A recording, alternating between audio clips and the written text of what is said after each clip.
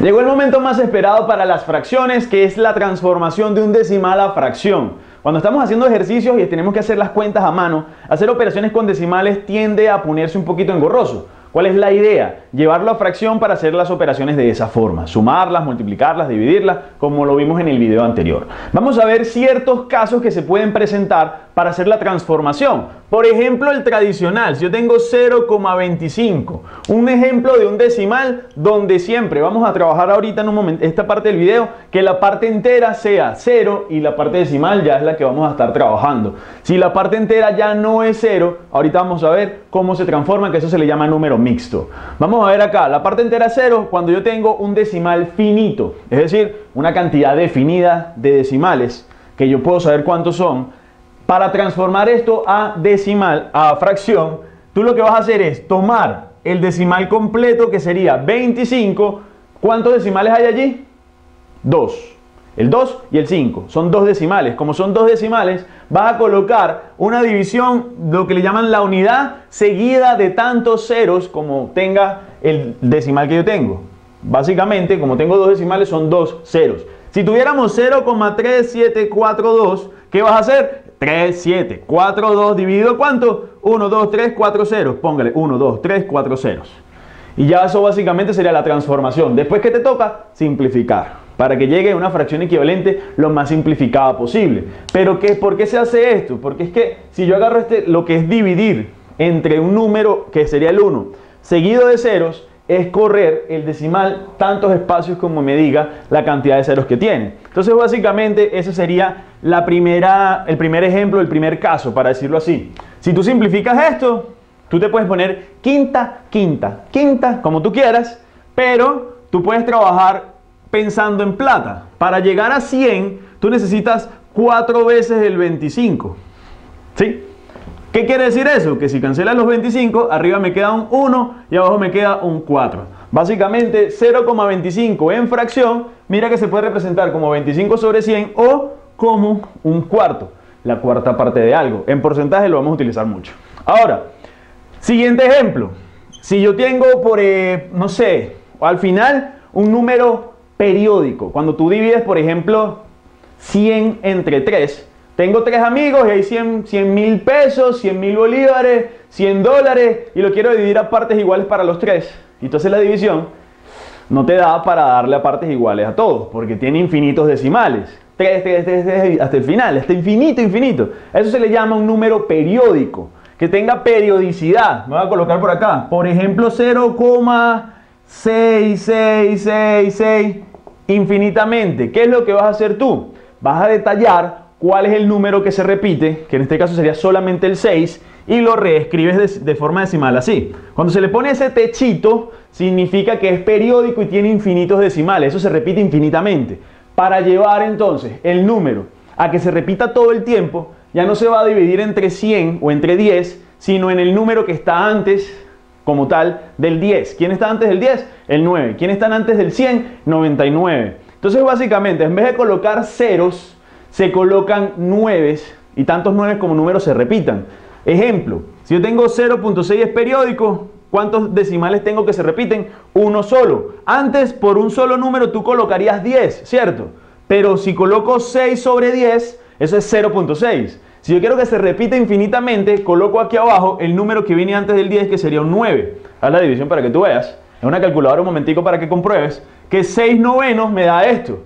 Cuando simplificamos, 6 es 3 por 2, el 9 es 3 por 3, cancelando, me quedaría 2 tercios. Mira que entonces 0.6666 periódico en fracción se puede representar como 2 tercios. Es una forma de, de, escribir un decimal periódico a una fracción. Yo sé que te estás preguntando esto. Mira, ¿qué pasa si tengo ahora 0.45? 45, 45 infinitamente. ¿Qué haces? Primero 0,45 periódico porque lo que se repite es el 45, ¿cierto? Imagínate porfa que no tienes esto. ¿Qué haríamos aquí arriba? Colocaríamos ceros, ¿sí? aparecería un 100 porque tengo dos decimales. Si no tuviese el techito, tú colocas 100. Pero como tiene un techito, se coloca el número que viene antes del 100, que sería el 99. En otras palabras se dice, coloca un 9 por cada decimal que se repita. Y ya. Como tengo dos decimales, dos veces el 9. Y arriba que coloco 45 dividido 99. Si tú divides 45 sobre 99, te va a dar, compruébalo para que veas en la calculadora, 0,45, 45, 45, 45, infinitamente. ¿Lo puedes simplificar? Sí. 45 es 3 por 15, 99 es 3 veces el 33, se cancelan los 3 y me quedaría 15 sobre 33. En este otro ejemplo, mira que si tú divides 45 sobre 99 o 15 sobre 33, te da igualito este decimal periódico. ¿Ok? Si quieres copiarlo, pausa el video porque lo voy a borrar. Eso es lo bueno de grabar los videos porque tú tienes la facilidad de que lo pausas en el momento que lo necesites, ¿cierto? O lo retrocedes. A ver, hasta ahora tenemos dos casos. Decimal finito. Coloco los decimales, coloco tanto cero como decimales tenga, divido, simplifico, listo. Decimal periódico, coloco cuál es el número que se repite, coloco tantos nueves en el denominador como decimales yo tenga, simplifico, listo. Pero tenemos la combinación de los dos. Puede ser finito y periódico también. ¿Cómo se hace eso? Vamos a poner aquí un ejemplo. 0,1244. Voy a poner puros 4 así. Mira que efectivamente se tiene un decimal finito que no se repiten más nunca, que es el 12 en este ejemplo, y luego aparecen puros 4. 0.12, 4, 4, 4, hasta el final. ¿Qué vas a hacer? Se reescribe este número. Se va a reescribir de la siguiente forma. 0.124. ¿Por qué hasta el 4? Porque el 4 se va repitiendo. Y el techito solamente se le coloca al 4, que ese número es el que se va a repetir. El 12 no se estaría repitiendo. ¿Va? Ahora, ¿cómo llevamos eso a una fracción?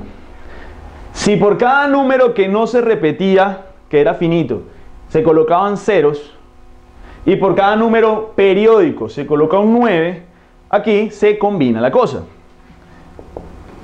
¿Qué va primero? ¿El huevo o la gallina?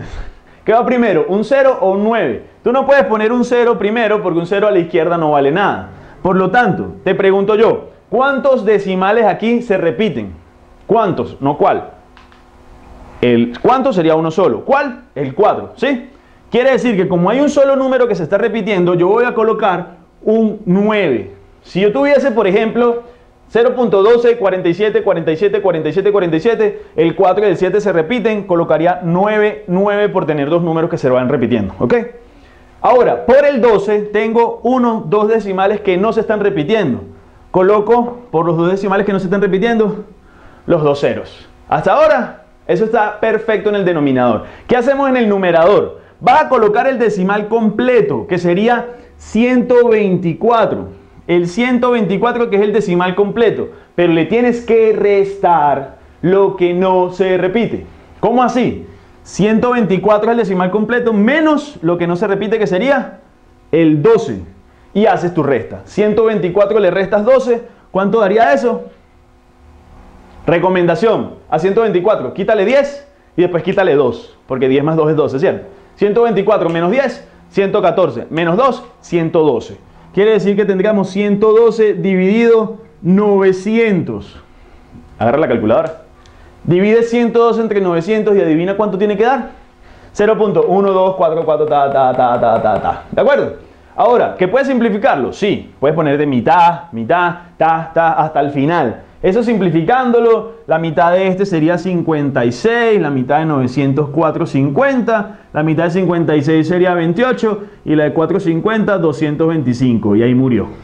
Si divides 56 entre 450 o 28 entre 225, automáticamente, vamos a hacer la prueba aquí todo en vivo, bueno, en vivo supuestamente, grabando esto, que tú tendrías que hacer la división de estas dos cantidades, por ejemplo, 112 dividido 900.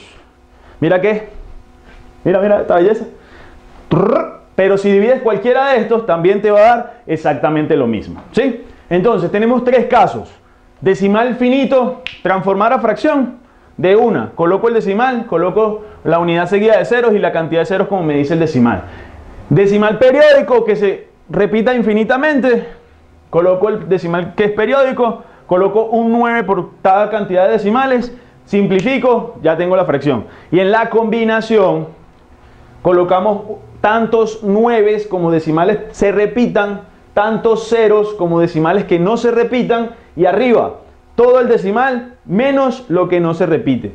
Te invito a que veas los ejercicios en la página epsilonpreu.com, donde vamos a tener esa transformación también en ejercicios prácticos, aplicando conocimientos, aplicando competencias, ejercicios prácticos para transformar un decimal a una fracción y hacer esas combinaciones. En el siguiente video, ¿qué vamos a hacer? Número mixto. ¿Qué pasa si esto ya no es un 0, sino que es 2.25? Si ya no es 0.66, sino 4.6666. ¿Ya qué pasa cuando este número ya no es un 0? Ahí vamos a hablar de números mixtos, no te lo pierdas en el siguiente video. No olvides suscribirte. Chao.